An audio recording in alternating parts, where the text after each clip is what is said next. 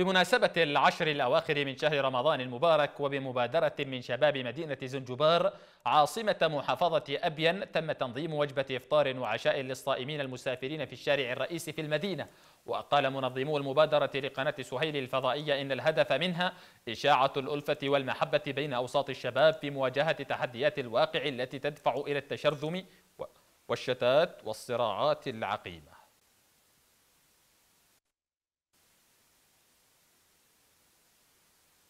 تم تنفيذ إفطار شعبي شبابي جماعي في زنقبار عاصمه محافظة أبين. بتنفيذ شباب أبين كانت مبادرة جميلة و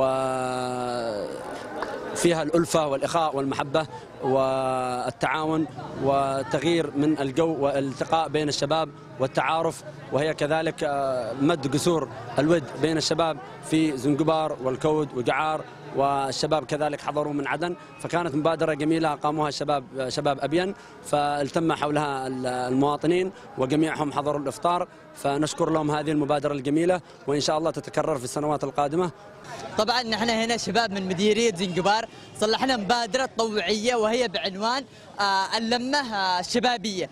تهدف هذه اللمة لزرع روح الأخاء والتعاون بين شباب محافظة أبين كذلك شباب المناطق المجاورة. الشباب جزاهم الله خير جمعوا ما تيسر. إلى جانب أصحاب البقالات من تمر سمبوسة وغيرها من وجبات الأفطار وغيرها من وجبات الأفطار لكي يساعدوا يعني في جمع هكذا. وكما تشوفوا الناس ما شاء الله الأقبال عليه وكذلك اصحاب المحلات والمسافرين.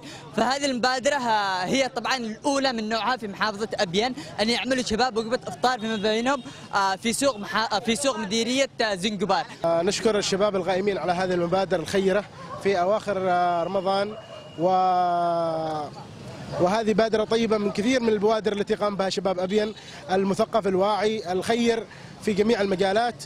اليوم تقدمنا إحنا كشباب محافظة أبين بمبادرة اسمها فطور الجماعي لأبناء المحافظة. كما الآن نحن في الشهر المبارك في خواتم الشهر اللي هي أواخر شهر رمضان. قاموا بعض من الشباب كما أمامكم تشوفون بمبادرة خيرية. من أموالهم الخاصة مشاهمة يعني الدعم من أبناء المحافظة